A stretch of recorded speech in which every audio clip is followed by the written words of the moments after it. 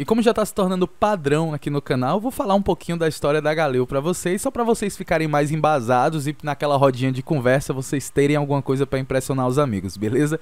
A parada, rapaziada, é que a Galil não é uma arma americana, a Galil é uma arma israelita, isso mesmo, ela foi desenvolvida no final dos anos 60 ali por uma indústria militar israelita. O interessante é que ela é inspirada em uma arma finlandesa chamada Valmet RK-62, perfeito? Eu vou até deixar na foto aí, vocês vão ver a semelhança logo de cara cara com a Galil. Outra semelhança que ela tem é com a AK-47, e isso não é à toa, o motivo é que essa arma finlandesa, a Valmet, ela foi inspiradíssima na Kalashnikov russa, na Kalashnikov soviética, a AK-47, ou seja, o design é muito parecido, e se a gente olhar a Galil do CS 1.6, a gente vai ver que a Galil é extremamente parecido o design com a AK-47, e o motivo é disso, são armas realmente inspiradas uma nas outras, e a versão que a gente tem no COD Warzone, rapaziada, não é essa aí do final dos anos 60, basta você olhar para a arma, você vai ver que ela é diferente. A razão disso é porque essa Galil que nós temos no Warzone, chamada CR56 Amax, ela é uma versão recente e moderna da Galil, tá? Se vocês forem pesquisar para ver fotos dela, eu recomendo que vocês coloquem Galil Ace, perfeito? Pesquisando assim, vocês vão ver essa nova versão que é a que a gente tem no Warzone, que é uma versão moderna que suporta vários calibres, munição 762, munição 556 também, é mais leve e assim sendo bem mais tático pro exército americano, perfeito? É isso aí, agora agora que eu embasei vocês um pouquinho na história, vamos pro vídeo.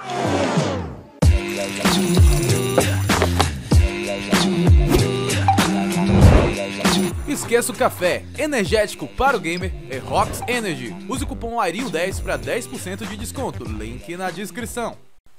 E aí amigos do YouTube, sejam bem-vindos de volta ao meu canal, eu sou Iron e hoje rapaziada falaremos da Super Galil, a melhor classe para Galil que você vai poder fazer, tá? A gente vai utilizar a nova mira holográfica de combate, que não é nova, tá? Mas a retícula ponto azul está sendo utilizada recentemente por pro players e eu vou falar um pouquinho dela também para vocês nesse vídeo e como ela pode ajudar a Galil a ficar ainda mais letal do que ela já é, perfeito? Mas antes, se inscreve aí nesse canal se você não quer perder nenhum conteúdo relevante de COD, eu sempre trago as informações mais mastigadas e mais verdadeiras aqui para vocês, rapaziada. Então, se eu trouxer um vídeo para vocês sobre uma arma, eu tenho alguma informação relevante a falar para vocês. Eu não vou ficar trazendo vocês aqui só para enrolar, perfeito? Então é isso aí. Se inscreve nesse canal se você é novo. Detalhe, quando eu gravei esse vídeo, eu fui forçado a falar bem baixinho no vídeo, rapaziada, porque tava muito tarde. Então não estranhe se eu falar sussurrando o vídeo inteiro, beleza? O motivo é esse.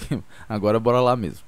Esses são os status da Galil primários, tá? Sem nenhum attachment. Ela tem um fire rate ali de 630 RPM, então ela tira um pouco mais lento do que a maioria dos fuzis de assalto com munição 556. Ela tem 56 de dano na cabeça, 42 no peito, 35 no estômago e 35 nas extremidades. Ou seja, o forte da Galil mesmo é tiro na cabeça e tiro no peito. Eu vou já já ensinar uma técnica para vocês acertarem bastantes headshots com ela, tá? Então fica no vídeo até o final que vocês vão aprender um segredinho para que vocês acertem mais headshots com ela, tá? Mas falando mais do status delas, a gente vê que ela tem um dano absurdo na cabeça, o que garante aí com praticamente 4 headshots você já consegue é, pegar a kill ali, né? E isso é bem rápido para um fuzil automático, né? Então, agora a gente vai comparar ela com algumas outras armas para dar uma olhada no time time to kill para ver se ela é rápida o suficiente. Bora lá. Essa aqui é a comparação das armas, rapaziada. Eu escolhi comparar aqui a Galil com a Hanset com a K47. Já vou explicar para vocês o motivo, tá? A Galil vai ser aqui essa da linha laranja, a Hanset é da linha rosa e a K47 é da linha azul, beleza? E é o seguinte, a Galil isso aqui é com tiro no peito, tá? Já foi programado para três placas, ou seja, eu estou simulando aqui o Warzone, tá? Ou seja, com tiro no peito e com três placas, a Galil entre a K-47 e a Han-7 é a que tem o TTK mais rápido, ou seja, ela é a arma que mata mais rápido até os 34 metros, tá? Agora eu vou explicar o porquê que eu escolhi a K-47 e a Han-7. A Han-7, ela é o fuzil com munição 556 que tem o melhor TTK do jogo, beleza? Então, das, dos fuzis 556, como a Grau, M13 ou M4, a Han7 é a que tem o melhor desempenho em termos de dano, né? A que mata mais rápido ali. Enquanto, enquanto que a K47 é um fuzil mais semelhante a Galil no quesito munição, porque ela tem a munição 762 e ela tem um recoil e uma cadência de tiro mais parecido com, com a Galil, sendo que ela tem até um pouco mais de dano ali à distância, porém ela tem um recoil mais difícil de segurar, menos munição e ela é mais problemática do que a Galil no geral, perfeito? Então, por eu achar que esses dois são dois extremos da Galil, eu quis colocar a Galil aqui no meio para vocês comparar melhor, no caso a K-47 com a Han 7.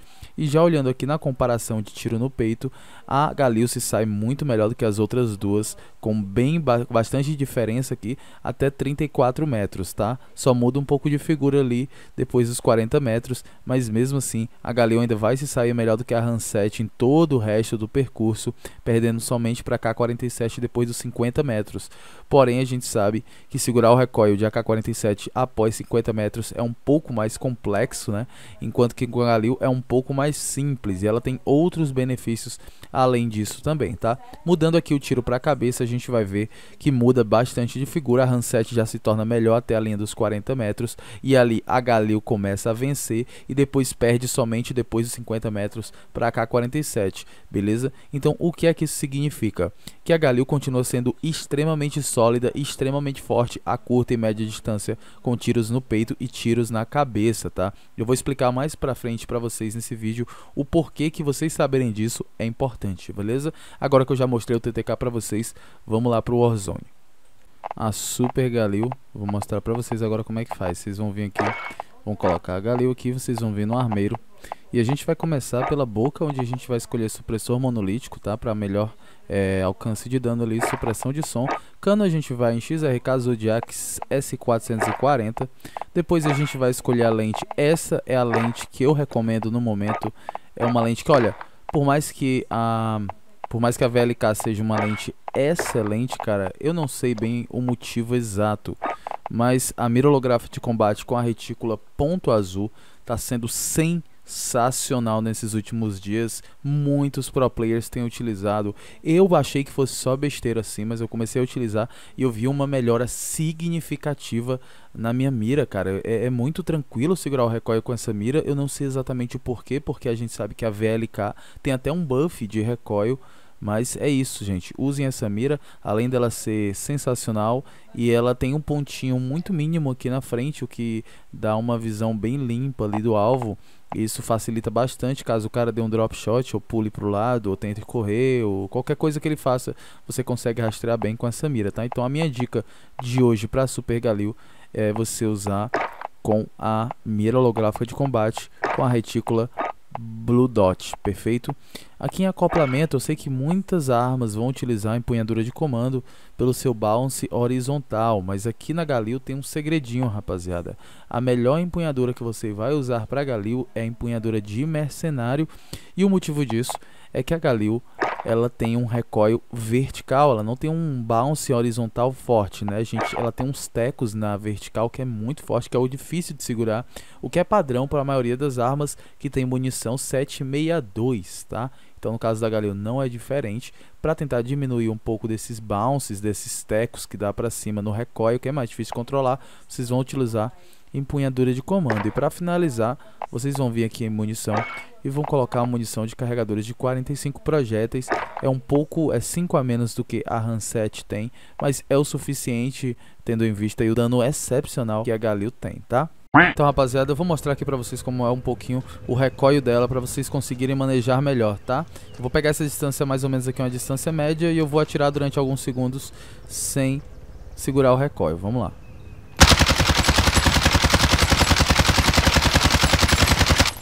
Eu atirei até acabar as balas todas, tá? Agora a gente vai dar uma olhada no padrão de recoil. Ele é praticamente só sobe, né? Como vocês estão vendo aqui. Ele é praticamente somente vertical, tá? Isso aqui com todos os attachments, tá? Só que ela tem alguns, alguns tecos, como eu falei, ó. Um teco, dois tecos, três tecos, quatro tecos, cinco tecos, seis tecos. Então, essas bolinhas maiores é o teco que ele dá, que é esse tá, tá, tá, tá. É diferente de uma Hanset ou de uma M4 que tem um fire rate maior, né? Então vocês viram aí como é que faz para segurar o recoil da Galil e é praticamente só puxar o mouse para baixo, tá galera? Não é difícil, é só você puxar o mouse para baixo, beleza? Então rapaziada, o macete, a técnica para que você tenha mais sucesso jogando de Galil é não buscar pelos headshots, é mirar no peito dos caras, tá? Buscar apenas tiro nos peitos, porque como ela tem uma munição mais pesada que vai dar vários tecos na vertical, ou seja, o recoil vai puxar bastante para vertical, se você mirar no peito do cara, consequentemente você vai acertar headshots, sendo que você mirar na cabeça do cara, você provavelmente não vai conseguir agrupar balas o suficiente, vai errar tiro e vai ser problemático para você finalizar o cara, tá? Então mirem no peito do cara que é só sucesso.